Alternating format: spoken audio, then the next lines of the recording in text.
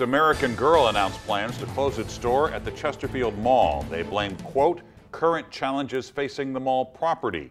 While American Girl didn't specify which challenges, the mall has lost a number of well-known retail stores in recent months.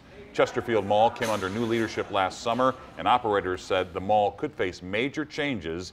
The American Girl store will close February 21st. The nearest locations will now be in Kansas City, Chicago, and Indianapolis.